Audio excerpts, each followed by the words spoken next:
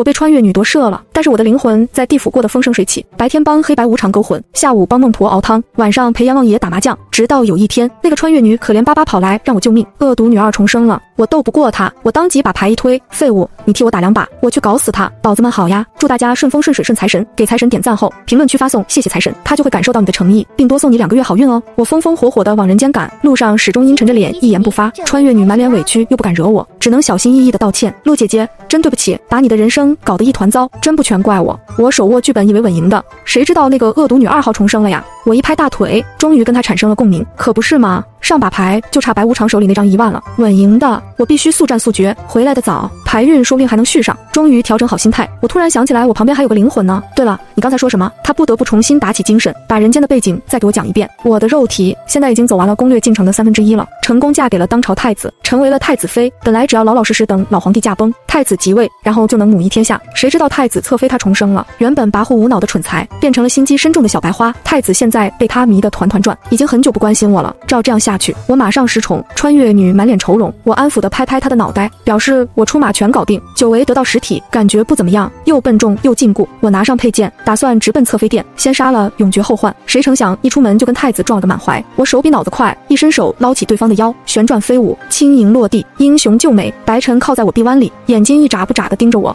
沉默良久，还是我忍不住先开口：“殿下，您先起来，有点沉，胳膊酸了。”白晨如梦初醒般起身，红着脸整理长袍，随即焦急地拽紧我的袖子，生怕我跑了一样。你带着剑要去哪？一个手刀砸晕他，去杀你的心上人，就不跟你报备了。出门左拐，侧妃沈如意正在荷塘边喂鱼，等他回过神来，冰冷的剑锋已经贴上他的侧颈，稍稍用力就是一条血线。给你最后留一句遗言的机会，你不是陆慈优，我直接换左手，一个巴掌扇过去。本姑娘身份高贵，谁给她的底气站着跟我说话？一脚踹在她的膝窝上，帮她下跪，附带磕了个重重的响头。你听好了，我。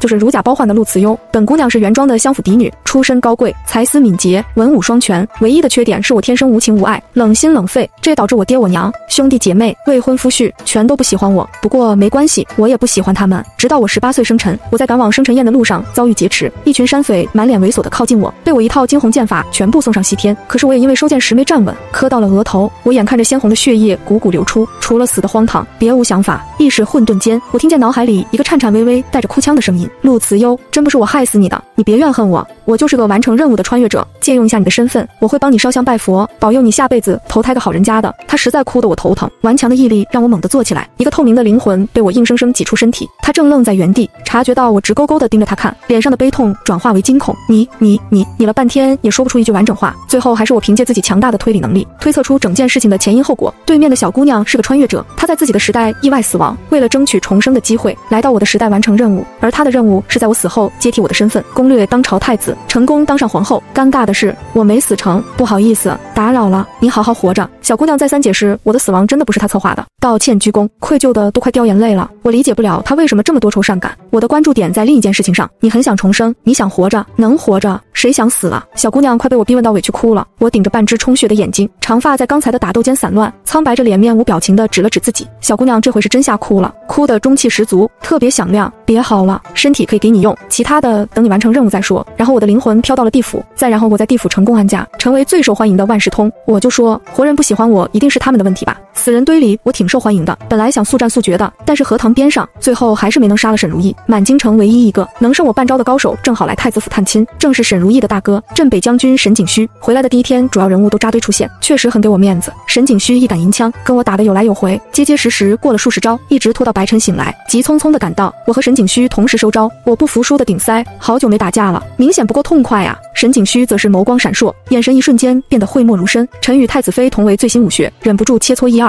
他主动开口替我解围，可是我根本不领这个情，我不反驳，只是懒得说话。白晨的目光游走在我们二人之间，我坦荡荡的回看，忘了说，我以前提过的那个未婚夫婿就是沈景虚。当年我还活着的时候，老将军跟我爹商量了一桩娃娃亲，据说圣上亲自证婚，生辰帖都换过了，可是后来没成。沈景虚用五年边关战功换圣上收回成命，不过我也没在乎过，毕竟我们俩相看两厌，人多热闹，不如大家一步正殿，一起叙旧饮茶。白晨。笑得温文儒雅，可惜我不吃这套，长得好看有什么用？还不是个始乱终弃的渣男。既然今天没有自杀的机会了，我也懒得跟他们虚与委蛇。你们去吧。我跟他没救可续，一个人回到寝殿，梳理眼下的情形。本来以为只是简单的任务，眼下却是疑点重重。白晨和沈如意看到我的反应都那么吃惊，好像真的久别重逢一样。还有沈景虚莫名其妙的释放善意，肯定没安好心，各怀鬼胎，都要提防。这边刚打算就寝，门从外面被人推开，我一枚暗器扔出去，寒光擦着白晨的发丝闪过。太太子妃果然好功夫啊！白晨面色苍白的点评，手攥着门扉，攥得死紧，上下打量一番。我真为穿越女的前景担忧，这太子看起来身体不怎么样啊，可别挺不到即位就病死了。殿下有何贵干？就是说，有没有一种可能，姑也在这睡觉呢？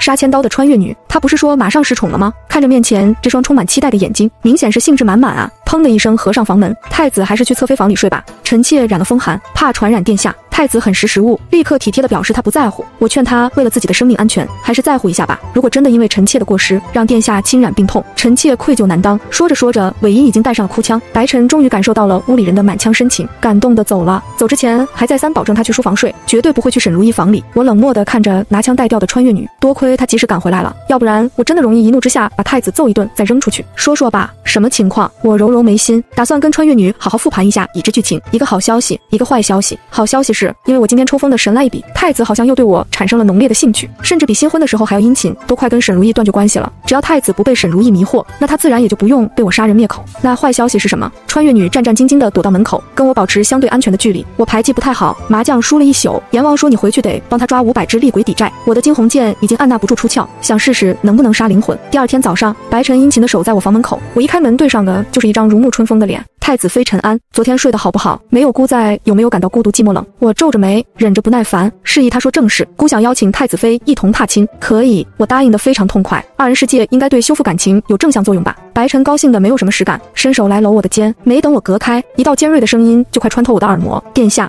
您是要抛弃如意了吗？您忘了苦苦等您临幸的如意了吗？若柳扶风的美人一袭白裙，渲然玉气。白晨头疼的看向我，期待我说点什么。我该说什么？那不然一起。白晨倒吸一口冷气，倒是沈如意喜笑颜开的去换衣服了。太子妃果然大度，多谢殿下赞赏。白晨比刚才更生气，直接拂袖而去。男人心真的很难懂，尤其是这个烈气精分的太子爷。马车摇摇晃晃还没出城，就遇上了巡视回来的沈景虚。于是三人行变成了四人行，尴尬的气氛是属于他们的。我全程满不在乎地神游，想着五百个厉鬼可是不好抓呀。乱葬岗附近。近还可以碰碰运气，到地方了。沈如意缠着白晨搂搂抱抱，倒是沈景虚伸出手想扶我下马车。小将军面色绯红，神色明显不太自然，看了几眼，看得我越发生气，拍开他的爪子，轻巧跳下。他看不起谁呢？本姑娘的轻功京城第一好。踏青尾时是个无聊的活动，白晨陪着沈如意放风筝，我懒得玩那些幼稚无趣的把戏。沈景虚始终跟在我三步以外。慈幼，你是不是厌恶我了？我挑眉回看，不明白他哪里得出的判断。你之前对我不是这个态度，是不是因为那封信？那个我能解释的。他还想继续，可是白晨已经反身回来，两个男人目光冷冷的对视。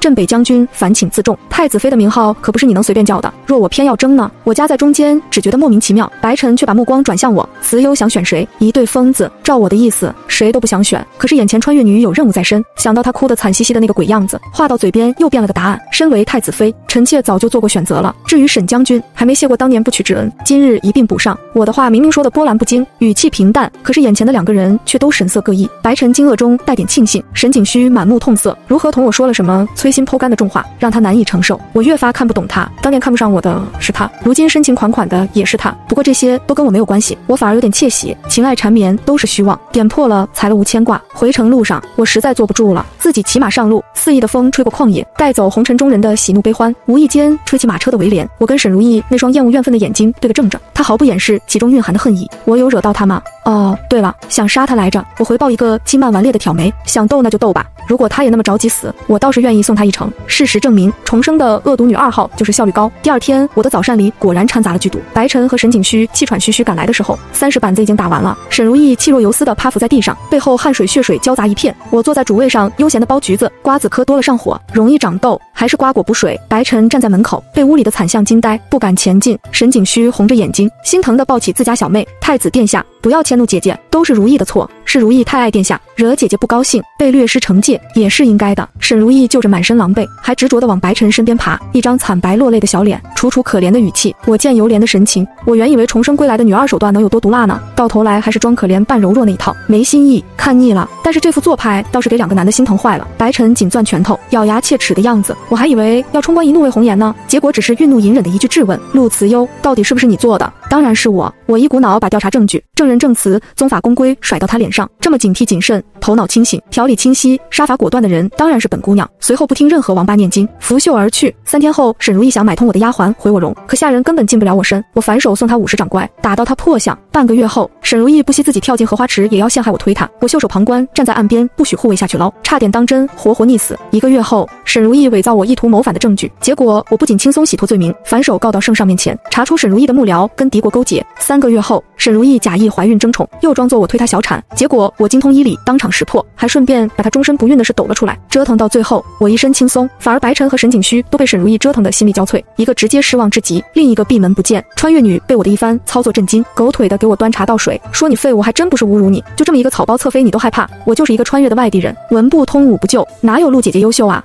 其实也不全是能力，心态也很重要。我不畏惧他，不在乎他，更不会心软留情，不怕杀了他，自然无敌。那句话怎么说的来着？哦，对，无情者得自由，无爱者得天下。斗倒了沈如意，照我的意思，就该让穿越女继续完成任务了。结果这可怜孩子又一把鼻涕一把泪，抱着我的大腿不撒手。陆姐姐，这世上只有你对我最好，没有你我可怎么活呀？有话直说，别打感情牌，没有用。他迅速爬到我面前跪好，我不喜欢太子，你能帮我攻略吗？我真是气笑了。我借他身体替他宫斗，现在还想让我帮他跟秦王谈情说爱，那他直接死吧，我自己活。我有心上人了，已经没法爱上太子了。他说的心上人就是沈景虚，这回直接气得我青筋直跳，抱剑而出。一刻钟后，跪在原地的身影变成了一对沈景虚以及一直有灵魂的穿越女。我揉着太阳穴，勉强听完了一个缠绵悱恻、烂俗狗血的爱情故事。回京的少将军在街头英雄救美，后来打探到对方是自己前青梅未婚妻。由好奇捉弄演变成日久生情，最后坠入爱河。如意得知我对你的情意，想要让我离间你和太子，但我没有答应。慈优。我对你是真心实意的。穿越女意外看见来往的书信，她以为这对兄妹私下串通，骗自己真心错付，所以才跑到地府求我帮忙。我总是擅长发现故事的滑点。你们那个世界不忌讳婚内出轨吗？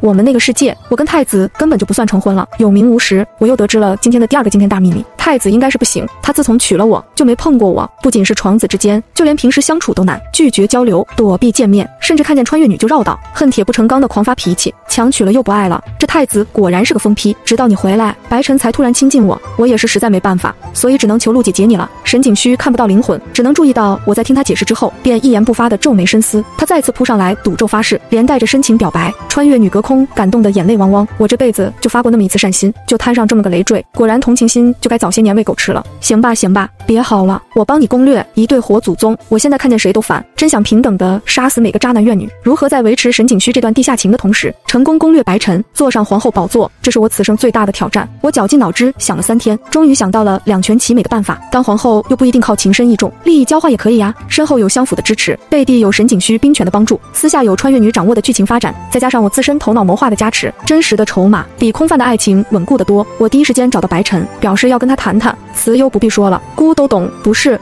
他可能有点误会，都是误会。你跟沈景虚清清白白，上次你当面拒绝他已经很给我安全感了。姑相信你，不是。他先别相信，那时候我还不心虚，现在有点。姑本来因为沈如意的存在有些心虚，但看慈优你如此大度善良，姑真的更爱你了。不是。他先别爱我，都快把他搞死了。我还善良，这太子明显对我有不实滤镜啊！好话坏话都让他一个人说了，我半句嘴也插不进去，索性拂袖而去，说解决不了问题。好在我是个实战派，做出点成绩给他看看。于是我帮他管理后宅，亲自替他练兵，助他招贤纳士。在太子对我一日胜过一日的灼热痴迷目光中，我终于挺不住了，在献殷勤，他就彻底被我迷死了。因为太子已经开始自荐枕席了，天天抱着被子蹲在卧房门口等我。慈优今天需不需要暖床啊？不需要。慈优今天有没有想我呀？不想。父皇一直期待抱上孙子，你看咱们俩要不然……我迅速把白晨扒着门框的手掰开，生怕他脸皮再厚点，非要蹭进来。最后决定还是先出去躲躲，散散心，再完善一下我的攻略计划吧。难得回人间一趟，还真有个想去的地方。法源寺的老方丈曾说我与佛有缘，找个时间跟他再对弈几局，顺便让他再帮我三三命格。这边还没等到我返程，京城就出了更大的事，皇帝驾崩了。按照穿越女的说法，老皇帝至少还能再活三年，到时候太子根基稳固，朝堂清明，即位自然顺利。可是眼下时局动荡，诸位皇子野心勃勃，边关蛮夷又虎视眈眈，皆是内忧外患。丧钟回荡，灵堂静默，白尘垂首跪在首位，一袭素白落寞寂寥，父母子女一场。即便是生在人情淡漠的皇家，到底也还是有些真情。情在，我不通世故，却也能察觉到他此刻压抑的悲伤。慈幼，我父皇说今年会亲自帮我操办生辰宴的，明明还有三个月，他怎么食言了呢？守到最后，其余人等纷纷离去，只剩下他一个人，眼圈通红，久久不愿起身。夜里风凉，吹过他单薄的脊背，腹又平息。我不知该作何回答，只能亲手帮他掌灯，陪他走这一段并不漫长的出宫御道。事有蹊跷，我一定会查明真相。刚才的脆弱少年，仿佛只是错觉。好啊，我帮你。我头一回对着白晨露出一个舒心的笑。为了帮穿越女完成任务，为了让自己早点摆脱麻麻烦，为了胸腔中奇怪的共鸣，为了他信任依赖的眉眼，为了什么都好。殊途同归。调查的第一步当然是了解死因，这个我最擅长，毕竟我在地府朋友多，人脉广。稍稍托个口信，白无常立刻传来消息，老皇帝是中毒身亡。至于凶手是谁，他没说。我理解地府的规矩，生魂只能再讲最后一句话，没顾得上说凶手也情有可原。那他最后一句遗言是什么？他的遗言是留给太子的，本来还得靠托梦。正好你在这，方便的话你给转达一下得了，就当是还我赌债。我不方便，我怎么解释？我还能跟白晨说我也死死过，所以有熟人代话吗？生辰喜乐，愿他平安，就这么八个字，掷地有声，有一种莫名的情绪击中我的心，奇怪陌生，酸麻生涩。虽然一瞬间便又退去，恢复往常的麻木疏离，但到底是错过了拒绝的时机，只能接受这个麻烦。回去的路上，我边走边想，是不是挺可笑？坐拥天下的帝王生命最后一句话，无关江山社稷，无关黎民百姓，而是给自己儿子贺生辰，是不是很荒唐？被人毒害身亡的冤魂死后的唯一执念，不吐露凶手姓名，不着急复仇雪恨，只惦记着感性的父子情深。果然活人就是麻麻烦。白晨对我能夜闯他香闺的行为感到受宠若惊。没办法，白晨眼下急需忠臣良将，拉拢沈景虚就不得不用沈如意借势。沈如意复宠也制衡了其他想往太子府塞亲眷的朝臣。沈如意最近跟防贼一样防着我，只要是白晨和我同时出现的场合，他必得参与进来。想说点私密的，只能翻窗。白晨红着脸坐在床上，羞涩的要给我分被子。长话短说，你相信世界上有鬼吗？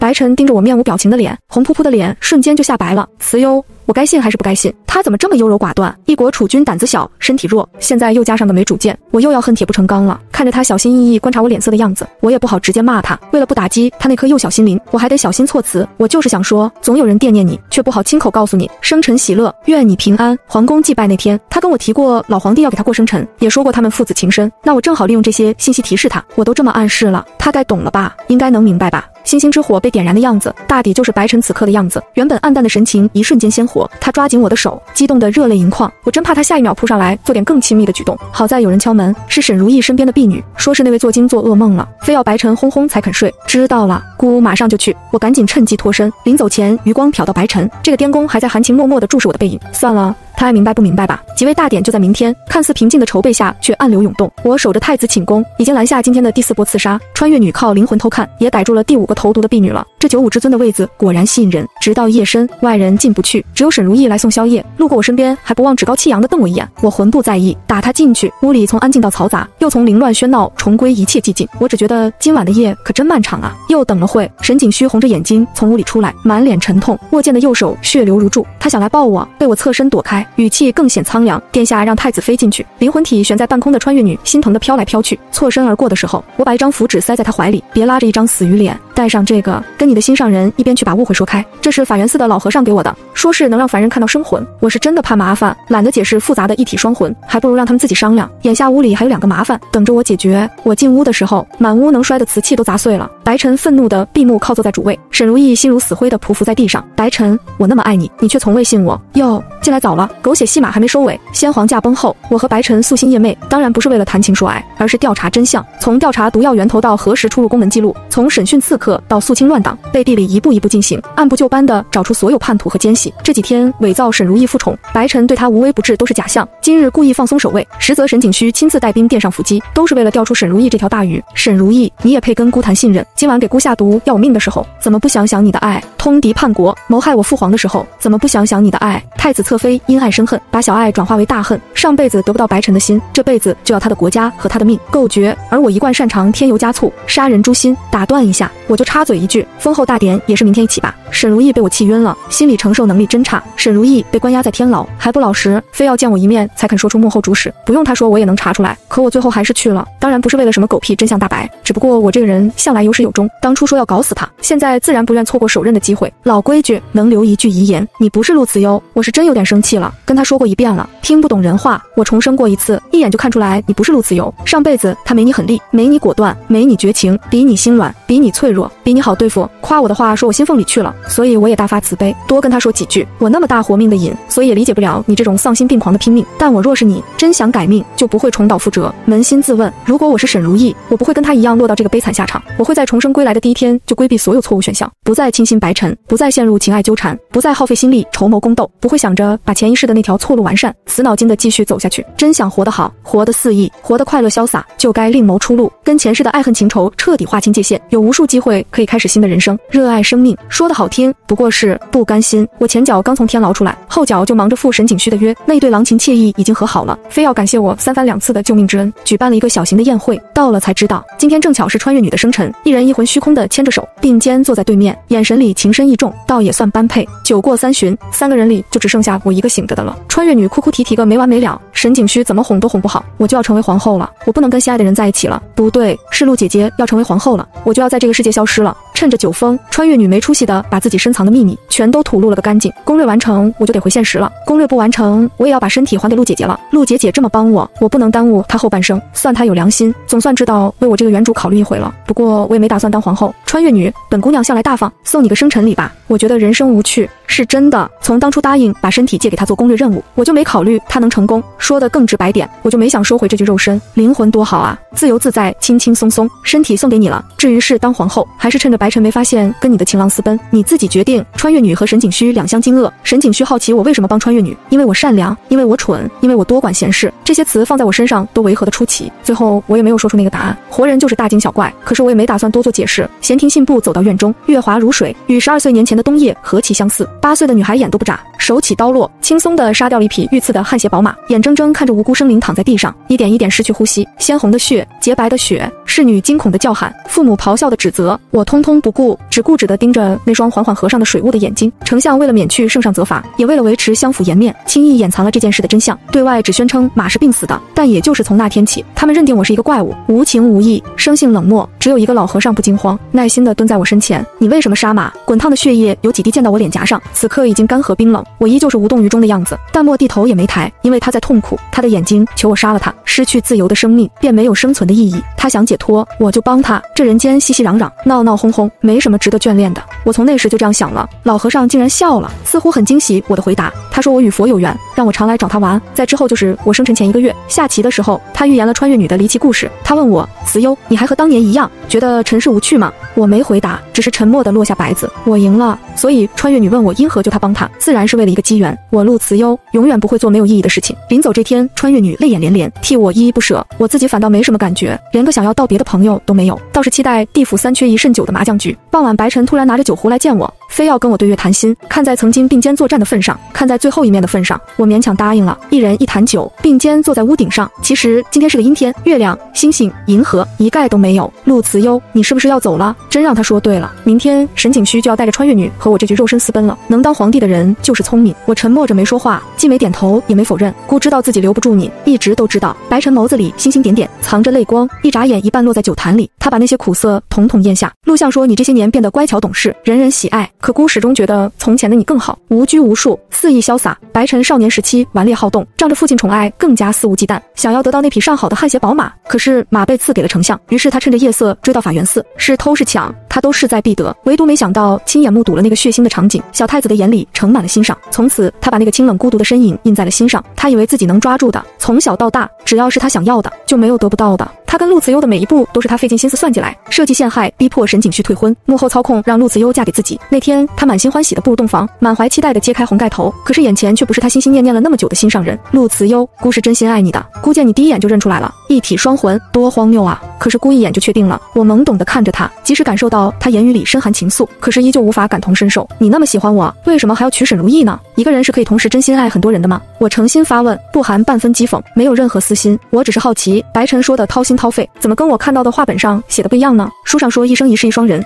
故事里讲天涯海角。此生相随。戏文里唱此生只为一人去，到底什么才是爱呢？仅仅两句话，却让白晨惊恐万分。他颤抖着摔碎了酒坛，惊扰了过往那些自觉情深的岁月。原来他爱的是自己呀！当年想要驯服那匹马，如今想要得到这个人，却都空手而归。白晨像是一个找不到家的孩子，悲伤到无以复加，崩溃大哭。我想他不能给我答案了。面前的皇帝九五之尊，富有四海，偏偏对爱一无所知。穿越女说：“我伤透了白晨的心，所以在封后大典前私奔，也没被治罪，随便吧。”就当是我无心插柳，给他行的最后一个方便。陆姐姐，你是不是对我很失望？我躺在忘川河面的小船上，轻松的朝他笑。为什么失望啊？你是不是觉得我选错了，不够洒脱？重活一辈子还是不免情情爱爱。穿越女越说头越低。我当年第一次见他就觉得不可理喻，现在依旧这样认为。你弟生活哪里轮得到我失望？我这人向来只在乎自己，就算你日后被抛弃辜负，我也不会插手。同理，你幸福圆满也与我无关。小舟摇摇晃晃，荡出了几分困意。我只盼他能早点说完道别的话，好让我能踏踏实实补个觉。陆姐姐，谢谢你给我第二次活着的机会。我想。要告诉你，我本名叫困意，被我强行驱散。果然跟穿越女聊天就是不能大意。趁着她说到一半，我赶紧捂住她的嘴。名字是羁绊的开始，而我除了全心全意爱自己，不想再拥有任何羁绊。感恩也好，回报也罢。我都不需要，我只需要自由。无论你以前是谁，往后你都是陆慈优了。头一回这么郑重地念出自己的姓名，法源寺的老和尚果然会取名字。慈忧，